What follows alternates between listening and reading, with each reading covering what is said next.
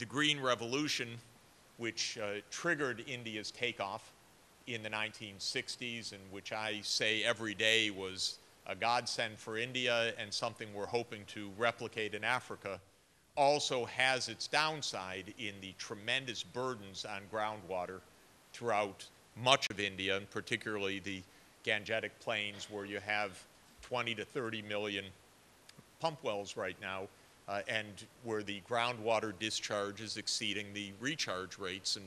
uh, groundwater is falling, uh, being depleted as a result, and there's major, a major challenge, and we have a great company involved in the technologies that can do something about this, and I'm sure we're going to be talking about that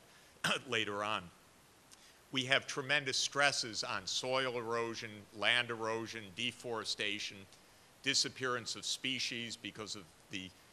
pollution, population expansion, spreading into more marginal lands.